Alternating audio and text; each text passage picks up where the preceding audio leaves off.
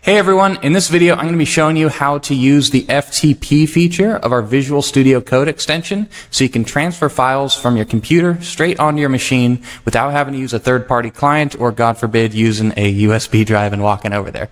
So it's super simple. Um, we've got our files here and our normal extension view where we can see all the operations and all that good stuff. And there's another tab here called the FTP client. So you open that up Again, you've got your local files. And then we can see we don't have any machines set up. You can add as many machines to this as you want. So we're just going to start with one and hit add your first machine. We're going to give it a name. We're going to tell uh, the extension the IP of that machine and then the login credentials. So from there, we've got it right here on the machine selector and we can see all the files that are on this machine right now. So we can see we like to do one folder per job, keeps everything nice and organized in names.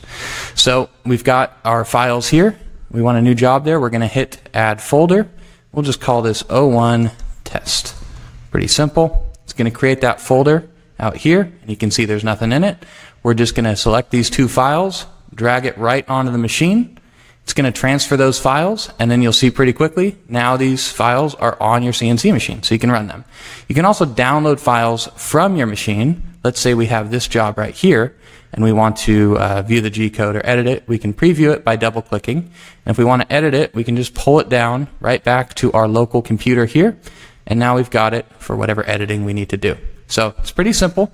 Worth noting, you can add as many machines as you want to this, and then you just click between them to change which machine you're connected to, sync your files, and then you're ready to run. If you have any questions, of course, reach out to us, uh, support at chatter.dev, join our Discord, or look at our support documentation online. Thanks for watching.